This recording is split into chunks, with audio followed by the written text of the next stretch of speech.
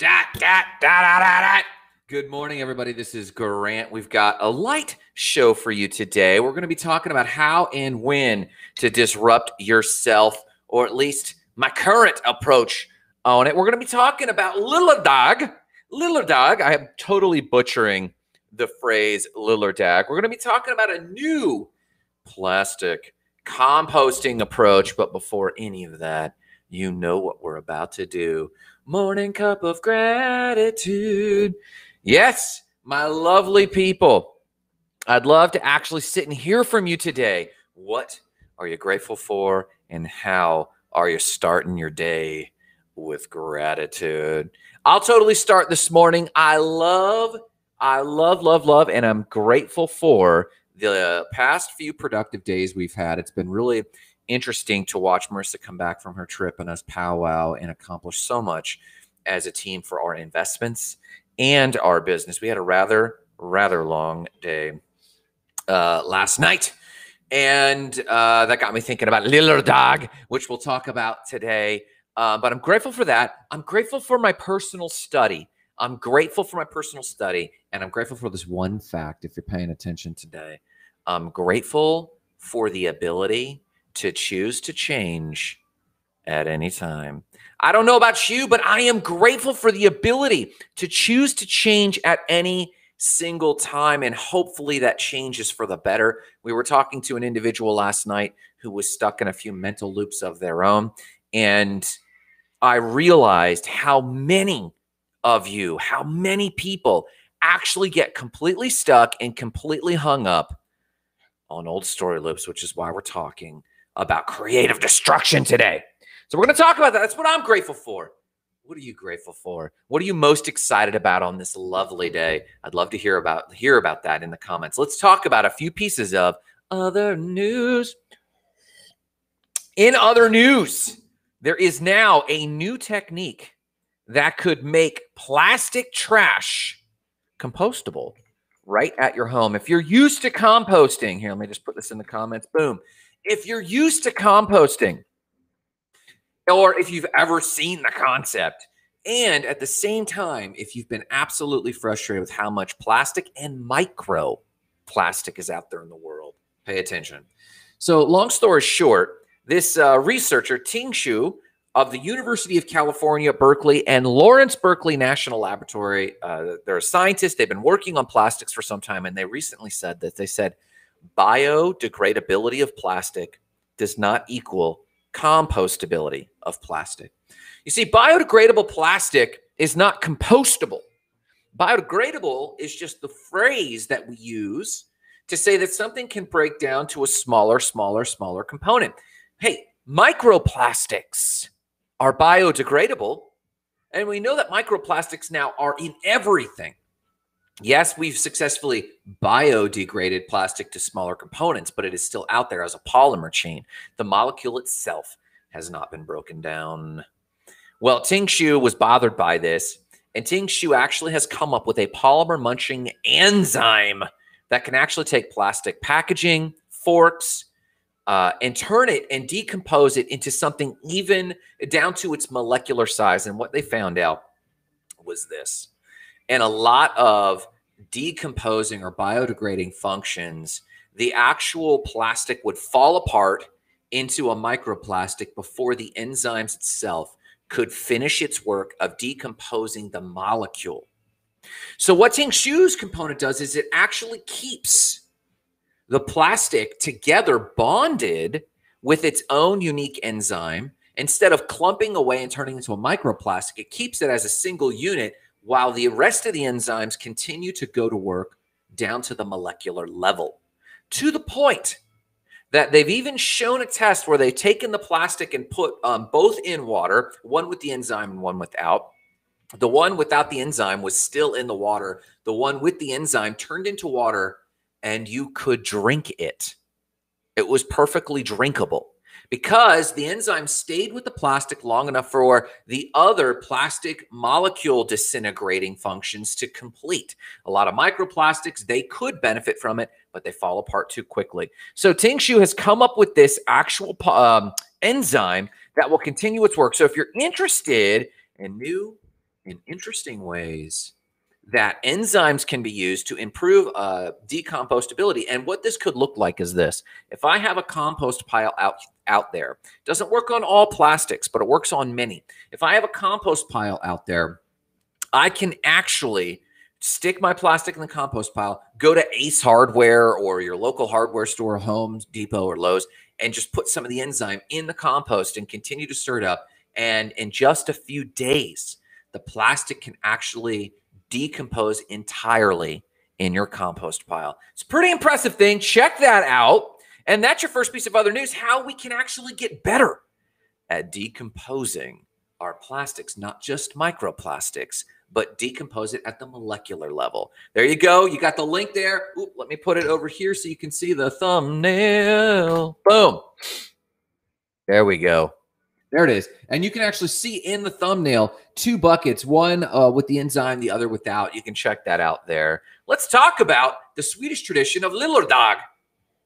Mm, mm, mm, so, yes, in short, we all know that whether it's the pandemic or just the monotony of a normal work week, we need something. We call Wednesday, for example, hump day, but people actually have so much pent up rage and energy and, and just exasperation by the end of the week. They just want to blow off steam and let loose. So oftentimes, Friday nights or Saturday nights are ragers. So all Saturday, they're prepping for their Rager Saturday night. Good morning, Root. I hope you're doing fantastic, sir. I'd love to actually have you on the show and interview you a little bit about some of the changes you've had. So reach out to me, DM me or something, and let's jam. Um, so yeah, most of the time weeks can get so um, challenging and anxiety ridden that we actually just blow off steam. And a lot of people go out and party Friday night. They worked all day Friday. They party Friday night. They sleep in most of the day Saturday. Their day off where they're supposed to get mental rest. And no, laying in bed does not equal mental rest, especially if you're hungover. You're barely recuperating, and your RM sleep is ma- REM sleep is massively interrupted. So they wake up late in the midday Saturday, barely able to pull themselves together. They start with a Bloody Mary, they freshen up, and they say, "You know what? I'll actually want to see my friends and hang out." And then it turns into another rager. And then Sunday's a repeat, and they say, "Finally, it's Sunday afternoon. I'm going to actually rest," but they're already anxious thinking about their Monday. How many people's weekends go like that? Too many. Too many people's weekends are eaten up by trying to blow off steam in a single weekend's rager. And that's just unacceptable. So the Swedes have possibly an alternative called Lillordag, And I'm going to actually put this down so you can Google it. No, you don't have the letters. Tom Phillips says if you're going to party on the weekends, make sure you use the squeeze, the downtown golf cart starting in July. Yes, Tom Phillips stopped by the table yesterday and told us about the squeeze.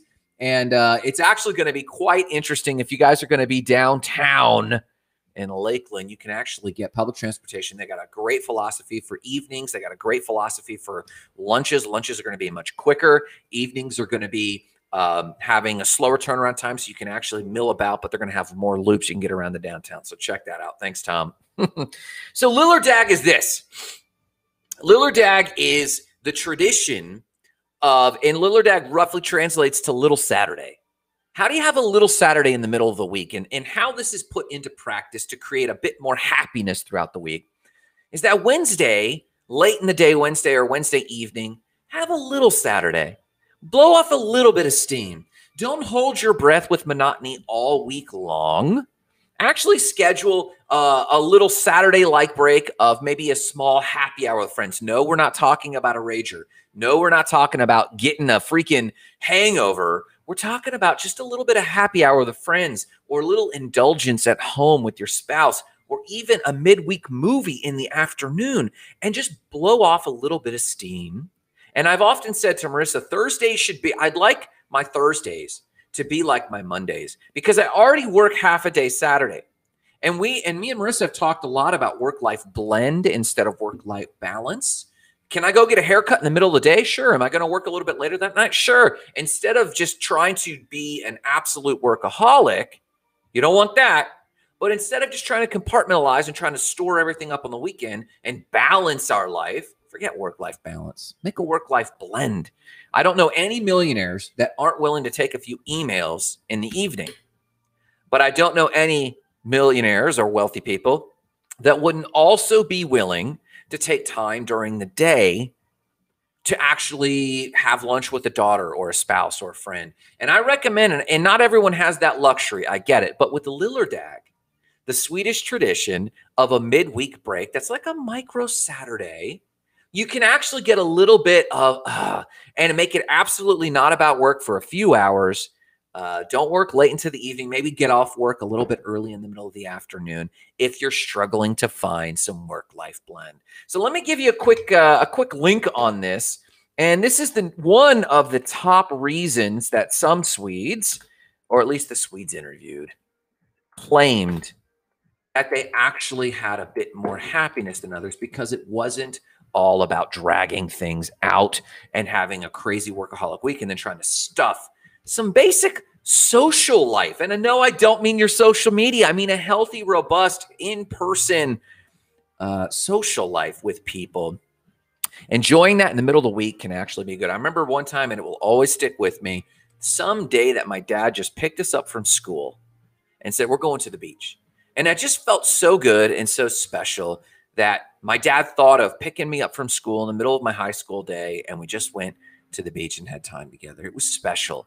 And I still, it still stays with me. Go be that person once in a while and enjoy a little bit of Lillordag. Check that out. so that's our bit of other news. Let's talk about creative destruction and the changes that need to happen to level up. Let's talk about this. So we know that Schumpeter, the economist, read after Karl Marx and a bunch of other people. We know that uh, Schumpeter was um, uh, was the school was of the school of Austrian economics, though I don't believe Schumpeter. I don't recall if Schumpeter is was an Austrian themselves, but they followed a lot of different economic models. And eventually, Schumpeter popularized and codified the idea of creative destruction, meaning all markets, all markets, you'll have a new entrant into the market, say a cell phone. That person will enter the market and suddenly, if it's a good product, people will adopt it left and right. So, um, Apple comes out with the touchscreen iPhone in the early 2000s, and we all melted our brains.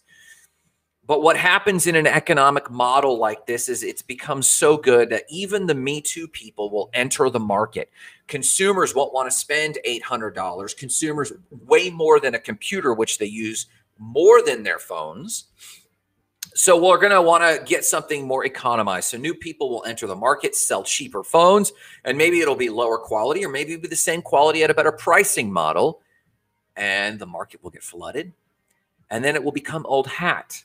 Now, iPhone and Apple, they've been able to keep a very high pricing model on phones. In fact, if anything, all phones have gone up in price. We pay more for our phones than we do for our computers. And but eventually it becomes old hat. And as it becomes old hat, demand is like, eh, the market gets watered down and then it actually destroys itself. And if you hold on too long to that model, if you hold on too long to, I'm only going to do phones, the market will correct and you'll go out of business. And this cycle is largely no, and then there'll be something new, right? Then there'll be an iPad. So then the iPad will come out or tablets. And I remember when me and Marissa were dating, I showed her my fancy, my fancy iPad tablet, and we would do the Stargazer app together. And it was the coolest new thing. But but these things turn into old hat, and then you have to do something new. Faster computers, gaming laptops, you name it, Google Glass, you name it. And these things, these cycles happen where something new comes out the new entrant gets a large share of the rewards. Other people enter the market. It gets flooded. Demand goes down. And if you hold on to that model and you don't innovate, you'll go down. Whatever you started your business in, most likely you will not end your business in. Most likely. Most likely in most industries, taking the market as a whole. Now, you might be in the municipal industry. You do need to remain innovative in the municipal industry. You might be in other industries that have been around for a long, long times, but you don't want to become victim to the horse and buggy, right? You don't want to be a buggy whip business in an automobile world. And we know that example from Think and Grow Rich and from other books and just history. Creative destruction is the cycle of interrupting yourself. Quite often, I think Steve Jobs was credited with a quote, but so many people have other passed along the sentiment that if you do not disrupt yourself, the world will disrupt you for you. You're going to get disrupted. I mentioned Root Patel earlier in the show that I'd love to actually interview him on the show um, and do an interview with him because he's a very progressive young man. He's doing a lot. His business is growing and going at a rapid clip. And this guy wanted to be the next Elon Musk. He was talking about his billion dollar empire, and we still we still can talk about that. But a few months ago, Root came to me and announced that's not my goal anymore. And I was super intrigued, and I want to have a longer dialogue about this. I want to talk to him more at length about this on why this change has come about. And I present for your consideration probably happiness was a major thing he was searching for. But beyond just happiness, I'm willing to bet cold money there's a need to innovate oneself. If you look around at your life, if you feel mediocrity creeping in, if you see your waistline expanding, if you feel drudgery at the thing that once was shiny for you on a personal level, these are probably signs that you need to disrupt yourself. So, if you survey your life, survey your small business, let's say your small business was uh, landscaping and you got into landscape. In fact, I know this. Uh, Daryl Turner is probably a really good living example. I believe Daryl Turner got into business with Turner's Landscaping, Turner's Lawn, or whatever it was at the time. And then he started adding services, adding services to expand the business, but also to stay ahead of his competition. So he started adding, he's already on the property, he started adding pest control and pest cleaning. And then lo and behold, everyone else started entering the landscaping. And man, this landscaping, there's a lot of machinery, there's a lot of oil. I keep breaking lawnmowers. There's so many mechanistic parts. But with pest control, I just have liquid. It's a more optimal business. So he let the landscaping go for a season and focused on the pest cartel, Daryl Turner's pest cartel, and evidence of disrupting yourself before other people disrupt you. And guess what? As you dis- as you become disruptive and enter the show and then you're really loud and proud, your competitors are also seeing what you're doing. You did your marketing right. That means everyone knows what you're doing. And if everyone knows what you're doing, it's only a matter of time before your competitors step up to the plate. And the more competitors you invite because your marketing, your own marketing invites other competitors to the plate. That's just how it goes. So we find a problem and that is is the cycle of supply and demand the economic cycle will eventually catch us all and we have to disrupt. So i present my only message today is this.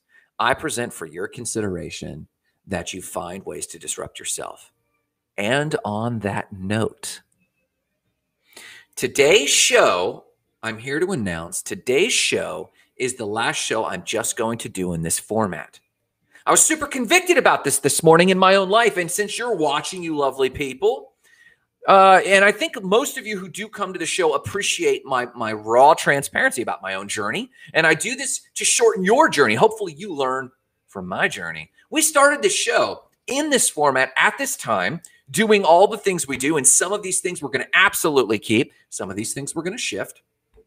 We started this in the middle of the pandemic to number one, encourage people, to number two, give me a focal point project, and number three, to hype myself. I always tell you guys one thing you need to learn from the show is be your own hype beast. Jessica, good morning. Thanks for the like this morning. I appreciate you.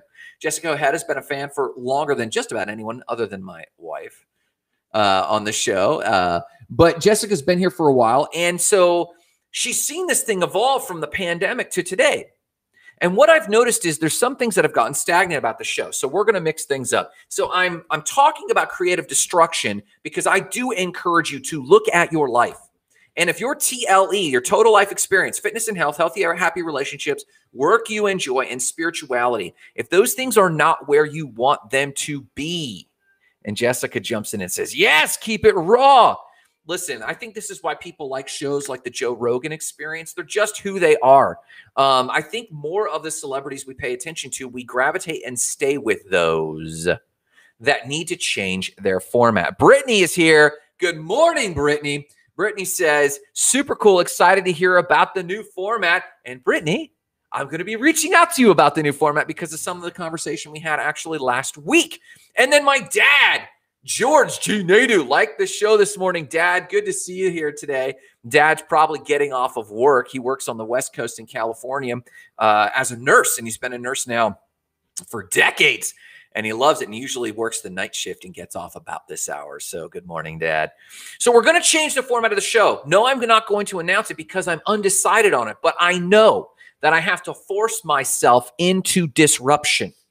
I know that the show is exciting and fun, and so many of you people have been very supportive of the show. And we're not gonna we're not going to cut the show. We need to change the format of the show for several reasons. And here's where we're going to keep it raw. Back to Jessica, Jessica's component. For those of you who know me, the Welchels know me pretty well. Jessica's come to know me. My dad knows me. My morning routine is one of the most important things about what I bring in terms of my A game to my partners. Brittany and Adam are partners on their business and our business with Spark Sites. It's how I bring my A game. I spend most of the entire morning. I spend from the time I get up at 4 a.m to the time I plug in between 7 and 8 a.m. every day, and I normally give myself like that three or four hour span where I have read and studied, done a, a workout that has pushed me to the limit. But that entire time I'm thinking, before I talk to my first person, before I turn into Mr. Motormouth, I have actually spent that entire time thinking in my head who I'm going to be that day, the leadership and vision I need to bring my team, that one or two most important decisions I need to make that day to take things to the next level. And by the time I hit 7 a.m. or 8 a.m., I am at my peak for personal power. Now, since we've been doing the show and the pandemic hit, I knew that there was an emergency trend uh, to, to borrow language that Brittany and Adam have given me over the years. Life, everyone's moods, the businesses were at a high risk and I knew we were in an emergency trend. So I had to do something extreme. So we started the show. I get up at four. My workouts stopped full stop because I normally take three to four hours to get into a frame of mind where I'm at my peak personal power. I knew that I was going to do the show between 6:30 and 6:45. And at getting up at four, that only gives me about two and a half hours. My study has been cut nearly entirely. My fitness has been cut nearly entirely. And my writing and I write books. You guys know I write books. You guys know that the next uh, iteration of the Spark, the Top 100 Dream Igniters, coming out. You guys know that I've got my tester books coming in, and we're going to launch that this year in a big way. But I haven't written on my second and third book. The second and third book. The second one being the State of the Spark, which is actually a little primer on what is State of the Spark, and a one called The Mission. And that's kind of been my low key project. And I have frameworks for all of those. And I have some writing, ton of writing in State of the Spark, a little bit of writing in the mission. But these things have been suffering because by the time I finish the show, then my morning is already about me. So you guys are often rushing off to work at 7 a.m. I do the same thing. I hang up and we go. So my raw transparency so that you can learn from me is my TLE has been suffering. My fitness and health, especially. My healthy, happy relationships, they've been fine. I've been building relationships with you guys. I mean, literally with people like Katie Payton, all these guys. We've been actually building relationships, and you guys have been learning more about Spark. And I would contend to this moment that this show has been the most important thing for the state of the Spark brand since we started, but we got to change the model. Brittany jumps in and says this. Brittany says, creative destruction. I really love that terminology. We use uh, Elena Cardone's phrase, you are either creating or destroying your empire. I just read that. I just read that just two days ago, that section in the book, Brittany, um, where you're either creating or destroying your empire, and creative destruction is totally creating your empire. Absolutely. And here's why because you think that neutral is neither creating nor destroying, it's holding steady. I'm not talking about business, I'm talking about physics. If you believe in physics that you are holding steady, you're actually decomposing. If your molecules get stagnant and you are holding steady, you're slowly, well, slowly or quickly, it, it depends on your situation, but you're slowly or, or quickly de disintegrating, decomposing. You're not composing, you're decomposing. what I mean by that is you're not creating. When you compose something, you create it. I, I compose a book, I create a book, I create a life, I compose a life. If you're not composing, you're decomposing. And so we are going to absolutely change the format. So this morning, this very morning, we're going to change the format. We're going to change some of the format on time. We're going to change the format on guests. I think you guys like when I get on a topic that I'm passionate about, like etymology, where words come from, like uh, a lot of those philosophies. But I think a lot of you have really appreciated some of the interviews and the dialogue And so we're actually going to bring on more guests and we're going to start moving towards higher profile guests. I think we're also considering a co host. Um, not for all the shows, but for a lot of the shows, dialogue is really important. And I think some of you are intrigued at the Spark methodology, at the grants ideology, some of the things I've been studying. Some of that's interesting, yes, but other people are even more interesting and equally interesting. So as of this morning, watch for the show. I'll announce, I'll tag people when the next episode, we're going to continue. We're on episode, where are we at? We're on episode 173. We're going to continue the episodes, but we are trying to reach a broader audience with the message of State of the Spark. We are trying to reach more people to impact the goal, igniting lives of explosive significance, starting with your own. So we are going to creatively inter- pattern interrupt ourselves before the market does. Before you guys go away and say, take a hike, Grant, I'm sick of this. We're actually going to innovate it. So I'll be reaching out to some of you to help me innovate it. I'll be reaching out to some of you to help take things to the next level. But I wanted to make this show not just about that announcement, but showing you what it's like. You know how scary it is to say, "Hey, I've grown addicted to checking in at 6:30 and get an endorphin bump when I see that number go from 5 to 10 to 13 to 7." I actually love that drama. It becomes addicting, but I have to ask myself, is it serving the greater mission? Or is it just an ego boost I got? And when it became when I became realizing that it was more of an ego boost than a pragmatically helpful thing to you and your vision, that's when I knew I had to pattern interrupt, pattern interrupt, but I had to creatively disrupt, creatively destruct in order to, as Brittany said just now, in order to create where it is right there, create the empire. Her last sentence there. And not just my empire, but help you create your empire to help you achieve your next level of what you consider personal success. So be watching for these changes. We'll be making announcements. Sometimes you might see me go live and and it'll ha- it'll look just like this show. Sometimes we'll pop in with a guest and it'll be pre-recorded and sometimes it'll just be snippets and clips from some of these interviews. So watch for that. But know this guys.